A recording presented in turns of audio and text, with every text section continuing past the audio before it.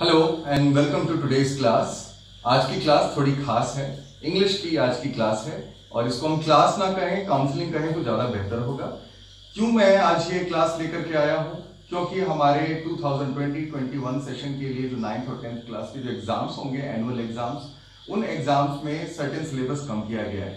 Syllabus uh, कम क्यों किया गया है? हम सबको पता है कि हम सब लोग uh, एक ऐसे दौर से गुजर रहे हैं जो हम सब के लिए बहुत ज़्यादा चैलेंजिंग है. बहुत ज़्यादा डिमांडिंग है हमसे बहुत सारा ऐसा काम करवाया जा रहा है या हमें करना पड़ रहा है जो हम नहीं करना चाहते। तो उसके मद्देनजर रखते हुए लोगों की, की ज़िंदगी पर जो असर पड़ा है उसको ध्यान रखते हुए सीबीएसई e ने इनिशिएटिव लिया है और इसी इनिशिएटिव के तहत इसने कुछ चेंजेस किए हैं अपने सिलेबस में।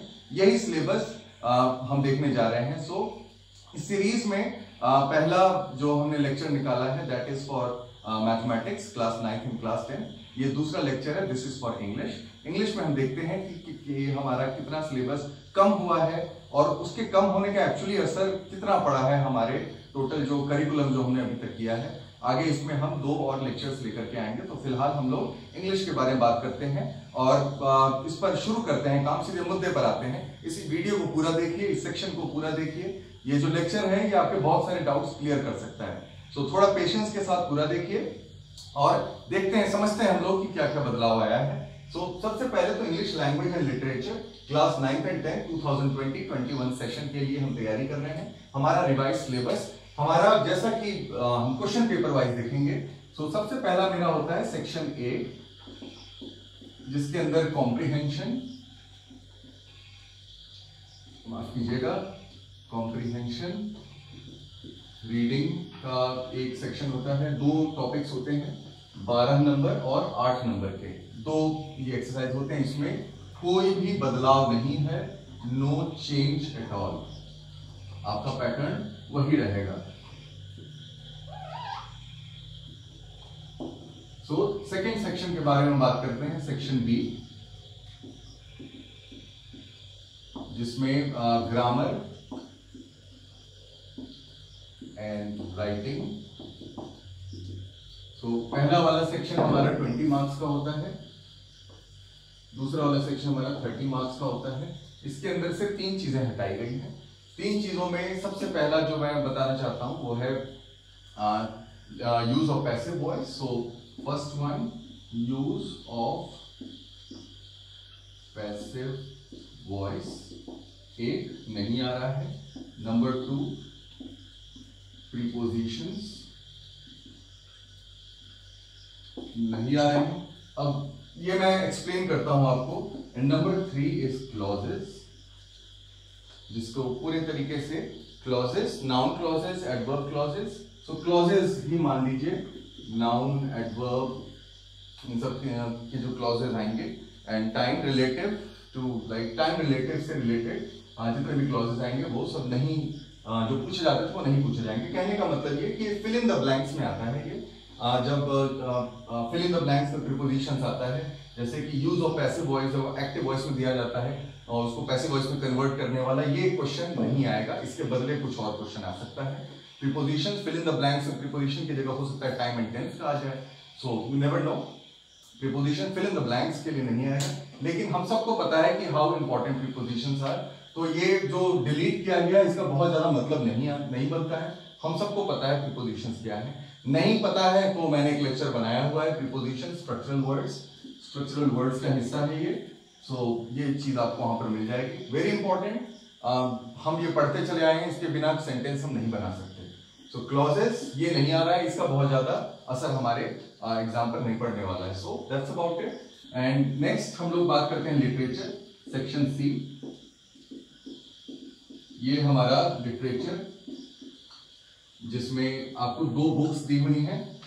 एक बुक का नाम बी हाइव है और दूसरे का नाम मोमेंट्स है। टोटल छह चीज़ें नहीं आ रही हैं इसमें से। देख लीजिए सबसे पहले अगर मैं बिहाइव के बारे में बात करूँ सो बिहाइव बुक में से आ, सबसे पहला जो नहीं आ रहा है that is the lake isle of Innisfree ये मैं आपको बुक से ही दिखा देता हूँ सीधा। So the lake isle of Innisfree section number four का पोएम है ये। नहीं आ रही है। उसके बाद the snake and the mirror number five का स्टोरी है ये। ये भी नहीं आ रही है। नंबर फाइव का the snake and the mirror उसके बाद नेक्स्ट पेज पर सेक्शन सेवन का the duck and the kangaroo poem doctor seven का पोएम नहीं आ रही है। सेवन सेवन सेक्शन में जो पोएम है वो नहीं आ रही है। उसके अलावा Kathmandu is another one tenth का जो स्टोरी है वो नहीं आ रही है. सो so, ये चार चीज़ें डिलीट हो गई हैं आपके इसमें से. And second one if I talk about then this one moments is the book इसमें से Iswaran the story teller story number story number three and story number nine Iswaran the story teller and the accidental tourist ये दो चीज़ें ninth standard की हैं जो इसमें नहीं आ रही हैं. सो दैट्स अबाउट इट देख लीजिए आप फिर से ध्यान से समझ लीजिए बहुत ज़्यादा चेंजेस का इसमें अंतर पड़ता नहीं है। हमेशा बस ये पाँच स्टोरीज हाँ ये मैं मान सकता हूँ कि ये दो स्टोरीज और ये आ, आ, दो पोएम दो पोएम और चार स्टोरीज से बहुत ज़्यादा फ़र्क पड़ने नहीं वाला है। सो ठीक है। So let's come back to like class tenth class tenth पर आते हैं। क्लास टेंथ में भी सेक्शन वन में बहुत ज़्यादा अंतर नहीं है। अंतर नहीं है मतलब जैसा नंबर वन था वैसा ही है। सेक्शन बी में भी क्लास टेंथ के लिए बहुत ज़्यादा अंतर नहीं है। सेक्शन बी में भी यूज़ ऑफ़ पैसिव वॉइस नहीं करने का है। सो यूज़ ऑफ़ क्यों मिटाया मैंने ये? पैसिव वॉइस नहीं करने का है। देन वी हैव ये देखिए, ये वही लिस्ट है। जिस लिस्ट को मैंने आप इस साइट को नोट कर लीजिए www.cbse uh, sorry cbse academic dot N I C dot in इस साइट पर चले जाइएगा और यहाँ पर आपको जो लेटेस्ट जो चीज़ें जो मैं आपको बता रहा हूँ कि मैं इसी का रेफरेंस लेकर के बता रहा हूँ साइट पर चले जाइए। साइट पर जाकर के आप आपको एक ब्लू या ग्रीन या रेड कलर का एक बुलेटिन बॉक्स दिखेगा उसी के अंदर में। ये चीज़ें आपको मिल जाएँगी revise revise syllabus for session 2020-21 करके होगा 9 टू 12 सारे सब्जेक्ट्स आप वहाँ से डाउनलोड कर सकते हैं और अपने लिए रेफरेंस के लिए लिख भी सकते हैं। सो दैट्स अबाउट इट ये तो बताने वाली बात www.cpscacademic a c M I C dot N I C dot in C dot S cbse सबको पता है। सो so, ये आप लोग कर लीजिए। अच्छा रहेगा यार रेफरेंस के लिए। प्लान बना करके काम करते हैं तो ज़्यादा मज़ा आता है। यूज़ ऑफ़ पैसिव वॉइस इसमें भी नहीं है। Then again clauses clauses noun adverb time relative condition clauses of condition and time relative ये सब चीज़ें नहीं है इसके अंदर में। Then once again prepositions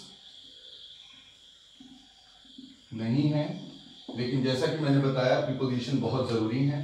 So that's about it then we have जो चैप्टर जो डिलीट हुए हैं सो so, आप लोग देख लीजिएगा लिटरेचर में दो किताबें हैं आपकी फ़र्स्ट फ़्लाइट और footprints without feet so first flight में से how to tell wild animals is a poem ये नहीं आ रहा है trees again is a poem ये भी नहीं आ रहा है. Fog is also a poem ये भी नहीं आ रहा है. मिचविल द ऑटर ये एक स्टोरी है नहीं आ रही है. For Anne Gregory I don't remember it's मतलब uh, देख लो नहीं है ये भी. द मिड नाइट विजिटर आ, ये एक स्टोरी है जो दूसरी किताब जिसमें टेन स्टोरीज हैं तो मिड नाइट विजिटर ये नहीं है। लकी मैं अभी इसी का वीडियो बनाने जा रहा था। So a question of trust ये भी नहीं है। The book that save the world save the earth ये ही थी। मतलब ये आठ चैप्टर्स आपके लिटरेचर में कम हो रहे हैं। एक चीज़ जो मिस आउट कर गया मैं नाइन्थ क्लास वालों के लिए वो letter on a situation so for class nine ये सॉरी थोड़ा मार्क कर लीजिए। सो क्लास नाइन में letter to editor means letter on a situation नहीं आएगा नहीं आएगा। दूसरा descriptive paragraph on a place और an event so paragraph writing free writing नहीं आएगा ये दो चीज़ें लिखने के लिए नहीं आएँगी। So it could be possible कि नोटिस पर नोटिस तो पिछले साल ही कट गया था। सो so, नोटिस हमारा शायद नहीं है। तो एक बार आप लोग फिर भी इस चीज़ पर कंफर्म कर लीजिएगा। नोटिस पिछले सेशन में नहीं था, इस सेशन में लिखा नहीं गया है सो आई आई एम श्योर कि ये चीज़ नहीं है। एक्सक्यूज मी सो यही सारी चीज़ें हैं बस। आप लोग बहुत ज़्यादा असर इस बात का नहीं पड़ रहा है कि कितना हमारा सिलेबस कट हुआ है, क्योंकि तो उस चीज़ का यूज़ हम लोग कभी ना कभी करते ही हैं, कहीं ना कहीं पर हम करते ही हैं। और यही है अब अगले सेशन में जब मैं सोशल साइंस का लेकर के आऊँगा तो उसमें भी मैं आप लोगों के साथ यही बातें डिस्कस करूँगा। सो so, तब तक के लिए good luck all the best like करिए शेयर करिए। अब मेरे चैनल को मैं इसमें हमेशा नई नई बातें लेकर के आता हूँ जो मेरा एक्सपीरियंस है मैं वो लोगों को बताता हूँ। मैंने खुद सीबीएसई e के लिए तकरीबन तीन साल काम किया है। I have work with CBSE I know how they work क्या उनका हिसाब किताब सिस्टम कैसा वो लोग चलाते हैं। सो वेरी फेयरली बहुत ज़्यादा इसके अंदर अंतर है नहीं। बहुत ही आसान मामला है। आई एम श्योर कि आप लोग इतना तो कर ही लेंगे। So good luck all the best जहाँ रहिए सेफ़ रहिए। जय हिंद, जय भारत।